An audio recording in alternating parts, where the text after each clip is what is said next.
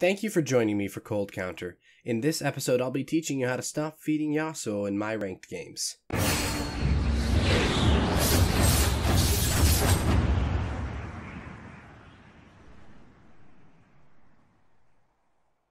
Before we go any further, though, I do want to apologize. My voice sounds a little funny. Um, I'm sick right now, so I it may not sound my best, but we're gonna get through this anyways. Now, before we can figure out how to cold counter a champion after they've already been picked in game, we need to first identify what makes them difficult to play against. Now, Yasuo derives his power from three primary categories. First, his ability to choose when to fight, be it to disengage or re-engage a target. Secondly, his damage. And thirdly, his sustained DPS. When you are first deciding how to beat him, you need to either A, compensate for and negate one, if not more, of these categories, or B, have a champion that is better than him in one of these three categories and capitalize on your strength there. So we'll break down each of these three categories and figure out how to beat him in each of these categories, be it through items or play style. And then we'll give you some tips and tricks at the end just to deal with him here and there, to help cover anything I may have missed. So, his ability to choose when to fight. He draws this power from three of his abilities. Firstly, his Q. The knockup allows him to disengage from a fight rather easily. Secondly, his E, his dash, which allows him to dash to minions very quickly in succession over and over again. And then lastly, his wind wall, which is probably one of the best disengage tools in the game. Now you may be familiar with one of Riot's favorite things to do when balancing and creating champions, which is conditional power. Understanding this is quintessential to understanding how to fight Yasuo, because Yasuo is made out of nothing but conditional power. Remember, he needs to stack his Q off of minions to get that third Q for the knockup, and he needs to use his dash on minions to navigate a fight. That being said, one of his greatest conditions of power is minions. So if you are going to fight Yasuo, do your best to ensure it's never on his terms, because when it's on his terms, it's not a fair fight everything is in his favor, or he's not going to fight you. And if he does fight you and things aren't in his favor, that's perfect for you. You can beat him. Try to wait for him to use his tornado before fighting him. That way you've got the max amount of time possible to fight him before he's going to get to his tornado. Lock him down and force a fight on him as quickly as possible and burst him down before he can deal any significant damage. Just focus him and finish him off. You need to force him to fight when he doesn't want to so he doesn't have the power to kill you. Now, unfortunately, his ability to choose when to fight can't be countered very well by items, but it can be countered by picking the right champion. Let's talk about his damage. His greatest damage power spike comes at two items when he's got Static Shiv or Phantom Dancer and his Infinity Edge. This means that prior to that two item power spike, you want to force as many fights with him as possible to push him behind. Now, once he has those items, it's still not that big of a deal. Buy Zhonya's and buy Mercurial Scimitar. Now you may be saying Elswayre, why am I buying Mercurial Scimitar? Well, you may not know this, but Yasuo's ultimate can be QSS'd out of, which means you can deny him all that damage, which is quite a bit. Now it's not going to work for every champion buying that QSS, but any AD champion and any tank champion, it's not a bad item on. Now when it comes to a sustained damage, buy a Randuin's Omen. Randuin's Omen ruins Yasuo's day. Before he has any anti-tank items or lifesteal, Randuin's Omen is a huge problem for him. It turns you into what is nearly an immovable wall. Now let's talk early laning. When you're laning against Yasuo, you never want to push the wave. Remember Yasuo can farm exceptionally well under tower. You want to freeze the lane, or if you can, force the lane to push towards you, and make the Yasuo choose between getting farm and getting ganked. Now, it goes without saying that point and click abilities that are reliable against Yasuo completely destroy him on so many levels. But if you're trying to cold counter Yasuo and you're already in game, you may not have this available, so check to see what his summoner spells are. If he's taken Ignite or Teleport, you're okay. Just focus on farming and play safely and ping for ganks when you can. If he's got Exhaust, be careful. If it's a good Yasuo, he might be able to 2v1 you, under which circumstances you want to make sure you bait out the exhaust or the wind wall before the jungler comes in to gank.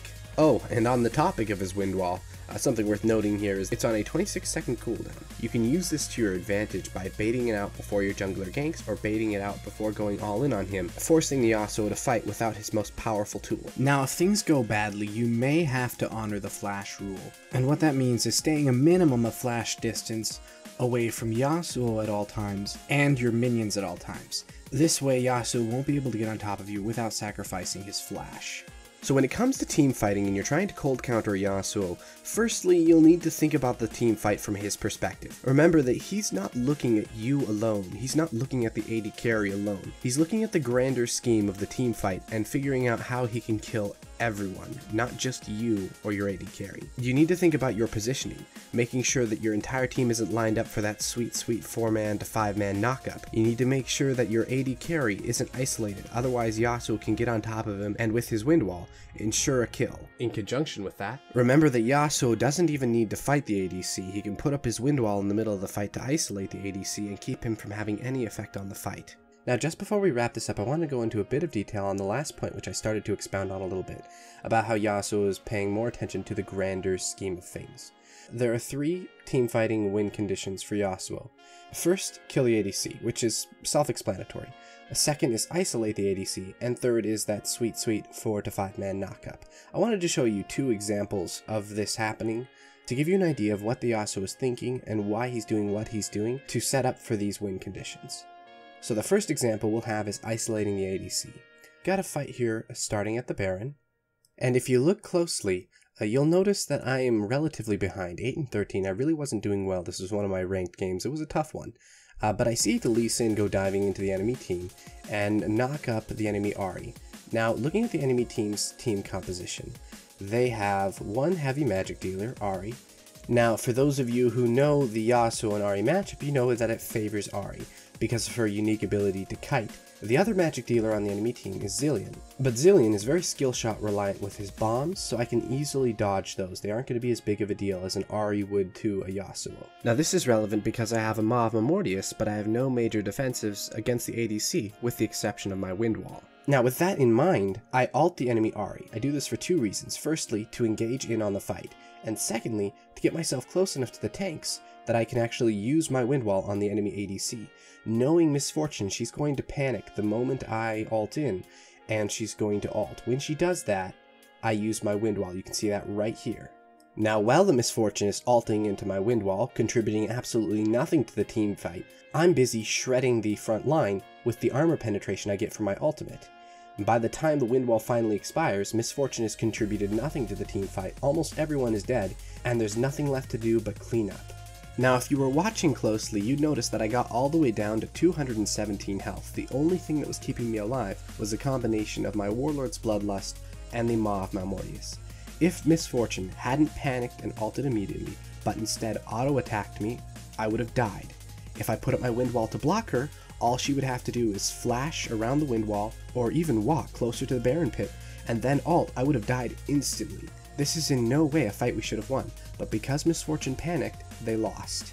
This gives you an idea of what Yasuo is doing and what he's thinking when his intention is to isolate the enemy ADC. And Miss Fortune is the perfect example of an ADC you want to do this to, against non-mobile ADCs. Alright, this team fight here is an example of that sweet, sweet four-man knockup to finish the fight. I approach the fight, and as I'm headed towards the Baron Pit, I notice a few important things. First is that our Talon is a madman. He dives into the enemy team engaging a fight when he most certainly should not have, and does indeed manage to kill the ADC. However, that's not the important part. The important part is that he's managed to bait out Skarner's ultimate, which is the enemy team's best counter to me, given that it's a reliable point-and-click CC with no travel time and it cannot be blocked by my wind wall. With that in mind, I begin kiting the fight and forcing the enemy to come in on me. I intentionally separate myself from my own team to encourage the enemy team to come on to me. You'll see here the Twisted Fate stun card coming right at me, and I dash through the Zed to buy myself just a little more time, and immediately, just as the stun card's about to land on me, I throw my wind wall, blocking that stun. Now, had I either A, not had that wind wall, or B, not been fast enough to activate that, I would have died immediately. You see all four of the enemy team is right on top of me. They would have bursted me down before my team could follow up and I would have died. But because I managed to block it, I can turn on the enemy team, get the 4 man knockup, ult, and they are all dead. We were behind by 10 kills, behind in gold value, but because the enemy team didn't respect the damage Yasuo is capable of putting out, we managed to turn the fight. So these are just two examples of a Yasuo winning a team fight in one of the three win conditions he has when team fighting. Uh, so do keep these in mind when you're fighting with a Yasuo on the enemy team. In summary, play your lane carefully, buy the right items, burst the Yasuo down at the beginning of the fight, and don't let him get that sweet 4-man knockup. Ultimately, when it comes to learning about how to take down a champion, it's best to learn how to play them. Nothing that I can tell you here can be more valuable than your own personal experience playing and understanding how the champion thinks and what they'll do in a fight. Thank you for watching. Not subscribed? Fix that. Red button beneath the video. It came to my attention that Yasuo could be getting some pretty heavy nerfs and or changes in the near future, so my Yasuo guide is on hiatus until I know what those changes are so that my guide will be as accurate as possible. In the meantime though, expect a weekly cold count counter.